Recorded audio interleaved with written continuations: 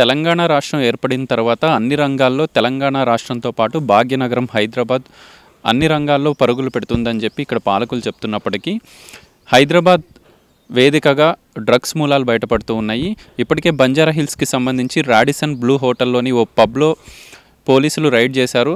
దీనికి సంబంధించి సుమారు రెండు వందల మంది బర్త్డే పార్టీలో పాల్గొన్నారని చెప్పి పోలీసులే చెప్తున్నారు.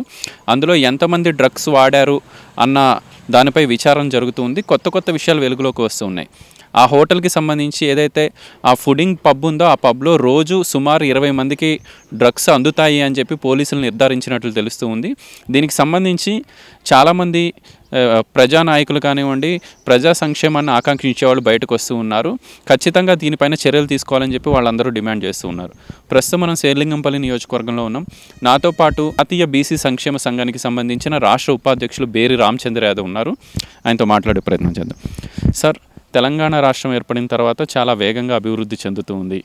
ఇక భాగ్యనగరం హైదరాబాద్ అయితే దేశంలో ఉన్న ఇతర రాష్ట్రాల వాళ్ళందరికీ అవకాశం కల్పిస్తూ ఉంది. ఇది ఒక మినీ ఇండియా అనుకోవచ్చు. ఇక్కడ డ్రగ్స్ మూలాలు బయటకు వస్తూ ఉన్నాయి. గత రెండు మూడు రోజులుగా పెద్ద ఎత్తున ఇష్యూ నడుస్తుంది. ఈ దీన్ని ఎట్లా వివరిస్తారు? ఏం చెప్తారు? నమస్కారం అండి.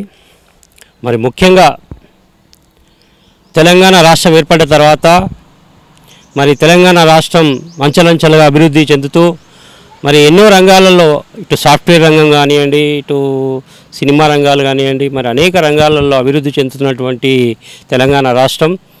మరి ఇలాంటి తరుణంలో ఇదొక బాధాకరమైన విషయం ఇది. ముఖ్యంగా ఏదైతే జూబ్లీస్లో ఏదైతే పబ్లో దొరికిన డ్రగ్స్ వాడుతూ మరి అందులో ఎంతోమంది పెద్ద పెద్ద వాళ్ళ పిల్లలు కూడా అందులో ఉన్నారని మనం చూస్తూ ఉన్నాం ప్రతిరోజు ఈ న్యూస్లలో. మరి ముఖ్యంగా అది చూడు చూసినప్పుడల్లా చాలా బాధేస్తుంది. మరి బడాబాబుల పిల్లలు ఇలాంటి పార్టీలలో డ్రగ్స్లలో దొరకడం అనేది చాలా బాధాకరమైన విషయం. సమాజానికి ఒక మంచి సొసైటీలో ఉన్నతమైన పదవుల్లో ఉంటున్న వాళ్ళ పిల్లలు ఈరోజు మరి ఇలాంటి డ్రగ్స్ కలవాటు పడడం వారు సమాజానికి మంచి నేర్పించే వాళ్ళ పిల్లలు కూడా ఈరోజు డ్రగ్స్లో దొరుకుతున్నారంటే అది చాలా బాధాకరమైన విషయం. మరి ముఖ్యంగా తెలంగాణ రాష్ట్రం ఏర్పడిన తర్వాత మరి ఈ రాష్ట్రంలో మరి ఇలాంటి పరిణామాలు జరగడం అనేది చాలా బాధాకరమైన విషయం. మరి దీనికి మేము చింతిస్తున్నాం. రామచంద్ర గారు ఏదైతే ఈ రాడిసన్ బ్లూ హోటల్లోని పబ్ విషయాన్ని కనుక మనం చూస్తే మీరు చెప్పినట్టు చాలా పెద్ద పెద్ద వాళ్ళ పిల్లలు బ్యూరోక్రాట్ల వాళ్ళ పిల్లలు కూడా దొరికినట్టు మనకు తెలుస్తుంది అయితే ఇక్కడ ఒక ఆరోపణ ప్రధానంగా వినిపిస్తుంది డబ్బున్న వాళ్ళ పిల్లల్ని ఎవరైతే సినిమాకి సంబంధించిన వాళ్ళ పిల్లల్ని వదిలేశారు కేవలం పబ్ ఓనర్లను మాత్రమే అరెస్ట్ చేశారు ఇంకొక ఇద్దరు పరారీలో ఉన్నారు. ఎవరైతే డ్రగ్స్ వాడారో వాళ్ళందరినీ వాళ్ళు ఎలాంటి స్థాయిలో ఉన్నా వాళ్ళందరినీ పట్టుకొని శిక్షించాలి అని చెప్పి ఒక డిమాండ్ వినపడుతుంది మీరు కూడా అదే డిమాండ్ చేయదలుచుకున్నారు? ఖచ్చితంగా అండి.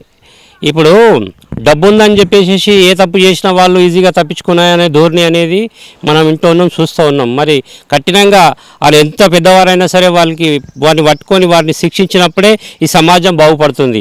సమాజానికి ఒక దీక్ష తెలుస్తుంది అనమాట అరే తప్పు చేస్తే ఎంతటి వారికైనా శిక్ష పడుతుంది అనే భావన ఏర్పడాలి కాబట్టి ఎంతటి పెద్దవారైనా సరే వారికి ఖచ్చితంగా వారికి శిక్షించాలి వాళ్ళకి కఠినమైన శిక్షలు విధించాలి. ఈ యొక్క డ్రగ్ మాఫియాను మన దేశం నుంచే భారతదేశం నుంచే తీసేయాల్సిందిగా మరి పోలీసు సిబ్బందికి కానీ అని ఖచ్చితంగా కోరుతున్నాం. మరి ముఖ్యంగా ఈ ఎదుగుతున్న మహా మన భారతదేశంలో చెందుతున్నటువంటి మన తెలంగాణ రాష్ట్రం హైదరాబాద్లో మరి ఇలాంటి ఈ అసాంఘిక కార్యక్రమాలు జరగడం జరగడం అనేది చాలా బాధాకరమైన విషయం ఇది. దీన్ని త్వరగా ప్రభుత్వాలు కూడా దీని మీద చర్య తీసుకోవాలి. మరి అదేవిధంగా పోలీస్ డిపార్ట్మెంట్ వారు చర్యలు తీసుకోవాలి. మరి ముఖ్యంగా సమాజంలో తల్లిదండ్రుల బాధ్యత కూడా ఎంతగానో ఉంది. వాళ్ళు కూడా ఈ యొక్క పిల్లలు సొసైటీలో మరి ఈ మత్తుకు బానిసలు కాకుండా వారికి కాపాడుకోవాల్సిన బాధ్యత తల్లిదండ్రుల మీద కూడా ఉంది. మన సొసైటీ మీద కూడా ఉందండి. సార్ ఇంకొక విషయాన్ని మనం గమనించాలి. ఏదైతే తెలంగాణ రాకముందు మన హైదరాబాద్లో అంటే జంట నగరాల్లో ఇప్పుడు మూడు కమిషనరేట్లు అయినాయి సైబరాబాదు హైదరాబాద్ అదేవిధంగా రాచకొండ. తెలంగాణ రాకముందు మన ఈ హైదరాబాద్లో ముప్పై పబ్బుల వరకు ఉండేవి తెలంగాణ వచ్చిన ఈ ఏడెనిమిదేళ్ళలో అవి తొంభైకి పైగా ఏర్పాటయ్యాయి అని చెప్పి మనకి వాస్తవాలు బయటకు వస్తూ ఉన్నాయి. ఈ పబ్బుల కల్చర్ ఎక్కువైపోతూ ఉంది. విచ్చలవిడిగా మందు అమ్మకం కూడా పెరిగిపోతూ ఉంది అని చెప్పి ఆరోపణలు వస్తున్నాయి ఇవన్నీ కంట్రోల్ చేయాల్సిన బాధ్యత ప్రభుత్వం మీద ఉందా లేదా? ఏం చెప్తారు? ఖచ్చితంగా ఉందండి ఇది. మరి ముఖ్యంగా మనం తెలంగాణ రాష్ట్రం తెచ్చుకున్నది ఇలాంటి మత్తుకు బానిసలు అయ్యే కార్యక్రమాలు మరి ఈరోజు నిజంగా కూడా మారుమూల గ్రామాలలో బెల్ట్ షాపులు పెట్టి మరి చాలామంది యువకులు కానీ రైతులు కానీ పెద్దవాళ్ళందరూ కూడా ఈ యొక్క మందుకు బానిసలు అవుతున్నారు మరి ప్రభుత్వం దీని మీద పునరాలోచన చేసుకోవాల్సిన అవసరం ఎంతైనా ఉంది. మరి ముఖ్యంగా ఏదైతే ఈ ఇప్పుడు మీరు అన్నట్టుగా ముప్పై ఉన్న పబ్బులు తొంభైకి వెళ్ళడం అదేవిధంగా తెలంగాణ రాష్ట్రం ఏర్పడిన తర్వాత ప్రతి గ్రామంలో మరి బెల్ట్ షాపులు మరి టీ కొట్టుల్లాగా పెట్టుకొని అమ్మడ అమ్ముతున్నారు. మరి అది చాలా దుర్మార్గమైన విషయం. అది చాలా దాన్ని తీవ్రంగా ఖండిస్తున్నాం మేము. ఖచ్చితంగా ప్రభుత్వం దీని మీద పునరాలోచన చేసుకొని మరి ఈ బెల్ట్ షాప్ల మీద కానీ ఈ యొక్క పబ్ల మీద కానీ పక్కా నిగరాని పెట్టి మరి యొక్క ఇలాంటి దుశ్చర్యలు జరగకుండా కాపాడే బాధ్యత మన ప్రభుత్వాలది మన పోలీస్ డిపార్ట్మెంట్ వారిది.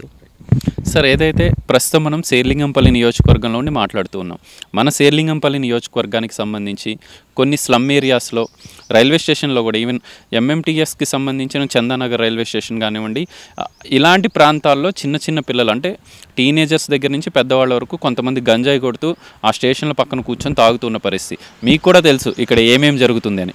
గతంలో కూడా మీరు చాలా అవేర్నెస్ క్యాంపులు పెట్టారు స్థానిక పోలీసులతో కలిసి. ఇది మరీ విచ్చలవిడైపోతూ ఉంది. ఏం చెప్తారు దీనికి సంబంధించి? దీని మీద ముఖ్యంగా తల్లిదండ్రులు కూడా ఈరోజు వాళ్ళు బాధ్యత వహించాల్సిన అవసరం ఎంతైనా ఉంది. తల్లిదండ్రులు మరి మా పిల్లలు ఏం చేస్తారు వాళ్ళు ఎలాంటి ఫ్రెండ్స్తో తిరుగుతారు దాని మీద ఖచ్చితంగా వాళ్ళ మీద నిఘా పెట్టి పిల్లలు చెడుదారిన పోకుండా కాపాడుకోవాల్సిన బాధ్యత తల్లిదండ్రుల మీద కూడా ఉంది. మరి ముఖ్యంగా మే- మరి గతంలో మేము ఈ గంజాయిని పట్టుకోవాలి గంజాయి నిర్మూలన చేయాలి అని చెప్పేసి యువత మత్తుకు బానిసలు కావద్దు అని చెప్పేసి ఎన్నో మా సదస్సులు పెట్టడం జరిగింది. అవేర్నెస్ ప్రోగ్రామ్ చేయడం జరిగింది అవగాహన సదస్సులు పెట్టడం జరిగింది. మరి ముఖ్యంగా మరి మేము మా చందనగర్ పిఎస్ వారికి కానీ మరి చుట్టుపక్కల ఉన్న ఆర్సీపురం పిఎస్ మరి అన్ని డిపార్ట్మెంట్ వాళ్ళకి కూడా మేము తెలి- ముఖ్యంగా తెలియపరిచేది ఏంటంటే ముఖ్యంగా వారు ఖచ్చితంగా అయ్యే నైటు కానీ రాత్రి కానీ ఈ పెట్రోలింగ్ వ్యవస్థ ఏదైతే పోలీసు వాళ్ళు ఉంటారో ఖచ్చితంగా తిరిగి వీటిని అరికట్టే బాధ్యత మరి డిపార్ట్మెంట్ మీద ఉంది. డిపార్ట్మెంట్తో పాటు మన ప్రజాప్రతినిధులు కూడా అయ్యో ముఖ్య పాత్ర వాల్సిన అవసరం. ఎంతైనా ఉంది మన సమాజం బాగుంటేనే మనం బాగుంటాం. మన మన యువత ఇట్లా చెడుదారిన పోయిందనుకోండి మన వ్యవస్థ దిగజారిపోతుంది. ఇప్పుడు ఇప్పుడే చూస్తున్నాం మనం శ్రీలంక లాంటి దేశాలు ఏ ఏ స్థితిలో ఉన్నాయో అనేది. ఈరోజు అనుమో రామచంద్ర అని అన్నానికి కూడా నోచుకోలేని పరిస్థితి ఉంది వాళ్ళు వాళ్ళు ఎక్కడ పోవాలో ఏం చేయాలో తో దిక్కుతోయని స్థితిలో ఉన్నారు. కాబట్టి మన ప్రభుత్వాలు అలా కాకుండా మనం మన యువతను కాపాడుకోవాల్సిన బాధ్యత మన అందరి మీద ఉంది. ముఖ్యంగా యువతకు కూడా నేను ము- మరీ వినవించుకుంటున్నాను వినవించుకుంటున్నా దయచేసి మీ భవిష్యత్తు మీరు తీర్చిదిద్దుకోండి. ఇలాంటి చెడు వ్యసనాలకు బానిసలు కాకుండా అని చెప్పేసి యువత కూడా కోరుతున్నామండి. బేరి రామచంద్ర యాదవ్ గారు సమాజానికి ఉపయోగపడే కార్యక్రమాలు చాలా తీసుకుంటారు. షార్ట్ ఫిలిములు కూడా ఇప్పుడు తీస్తున్నట్టున్నారు. సమాజానికి ఉపయోగపడేలా ముఖ్యంగా యువతను దృష్టిలో పెట్టుకొని అన్ని కార్యక్రమాలని మీరు ముందుకు తీసుకెళ్తూ ఉన్నారు. మీరు ఇందాక ఒక మాట అన్నారు మా మన ప్రజాప్రతినిధులు కానివ్వండి ఎవరైతే పెద్దలు ఉన్నారో వాళ్ళు కూడా అవగాహన కల్పించాలి ఈ గంజాయికి సంబంధించి డ్రగ్స్ వాడొద్దని చెప్పి. చాలామందిని మేము కూడా చూస్తూ ఉంటాం. మేము యూత్ లీడర్స్ అని చెప్పి ధర్నాల్లో వాటిలో చాలా యాక్టివ్గా పాల్గొంటారు. అలాంటి వాళ్ళందరూ ఒక తాటి మీదకి వచ్చి మన శేర్లింగంపల్లి నియోజకవర్గంలో కూడా గంజాయి అమ్ముతూ ఉన్నారు కొంటూ ఉన్నారు ఇదంతా వాస్తవం. ఇట్లాంటి అవగాహన కార్యక్రమాలు తీసుకోవాల్సిన బాధ్యత అలాంటి యువ నాయకుల మీద ఉంది. వాళ్ళకి ఏమైనా సలహా ఇవ్వదలుచుకున్నారా? ఖచ్చితంగా అండి. మరి ఈరోజు యువత కీలక పాత్ర వహిస్తారు మరి ఎన్నో పార్టీలలో కీలకంగా యాక్టివ్గా ఉన్నటువంటి యువ నాయకులు అందరూ కూడా దీని మీద కనువిప్పు కలిగించాలి. తోటి యువత చెడిపోకుండా వారిని కాపాడుకునే బాధ్యత మన యువ నాయకుల మీద ఉంది. మరి ముఖ్యంగా వాళ్ళకి చిన్న సూచన ఏంటంటే ప్రతి కాలనీలో ఒక ఈ యొక్క ఈ గంజాయి నివారణ కానీ మత్తుకు బానిసలు కాకుండా ఒక అవేర్నెస్ ప్రోగ్రామ్ తేవాలి.